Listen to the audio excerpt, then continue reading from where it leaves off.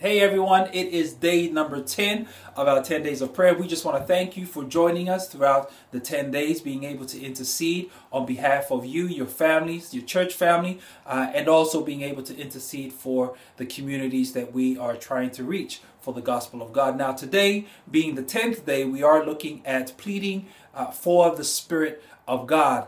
Uh, and we just want to let you know that even though the 10 days of prayer is going to end, it doesn't stop us interceding for one another. So continue to pray for each other. As the Bible says, ask and it shall be given, seek and you shall find. If you knock, the door will be open unto you. Today we're beginning, we are going to be focusing on praying for our evangelistic and community outreach for 2014. Now this year, our youth, our young adults, and our health committees are in charge of those evangelistic initiatives. So we are asking that you pray for wisdom and opportunities to reach those in our community, in our universities, our colleges, and our schools. Uh, we also ask that if you can't join us this evening at 7, that you continue to pray tonight on this 10th day of prayer at home, in your dorm room, wherever you are.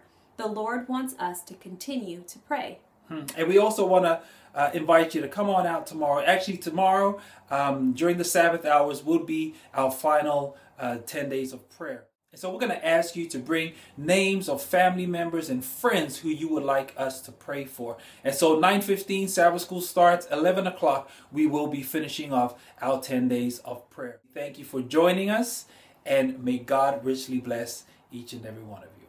There's power in prayer. Peace.